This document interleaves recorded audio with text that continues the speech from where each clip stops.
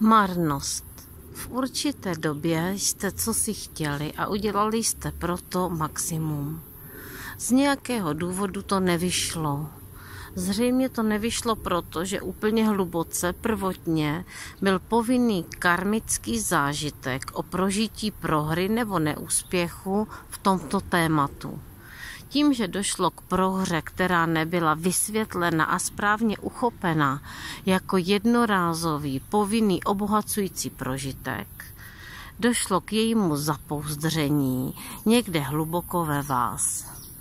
Protože samonápravný systém těla si přál vás uzdravit, zbavit vás prohry, studu za to, zklamání a marnosti, na základě magnetismu začal přitahovat do vašeho života podobné události.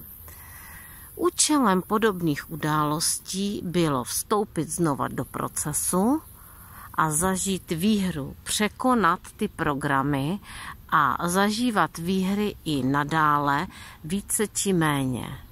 Tím, že hluboký program prohry a zklamání byl v nevědomí a byl silný, stala se s největší pravděpodobností opět další prohra. Začalo docházet k navyšování traumatu, k retraumatizaci a k utvrzování tohoto prvního zklamání a prohry.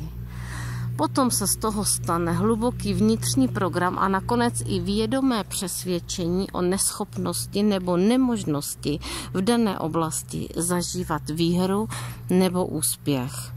Samonápravný systém spirituální energie, duše, často i vaše vědomí, vás přivádí pořád do stejných a podobných situací právě za účelem uzdravení. Proto je potřeba uchopit tu událost jako uzdravující. Vědět, že prohra je pouze zvykem a příběhem s navýšenou retraumatizací a přijmout případnou další prohru a neúspěch, ale už jako samoléčení, sebenápravný systém, vlastní terapii. Když se spojí uvědomění znalost s vnitřní i vnější silou a ochotou to napravit, začnou se objevovat stopy výher a úspěchů v daném tématu.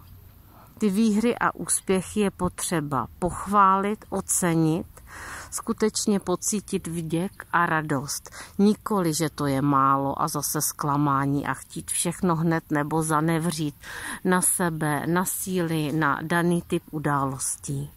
Takže takhle probíhá karma a samonaprava.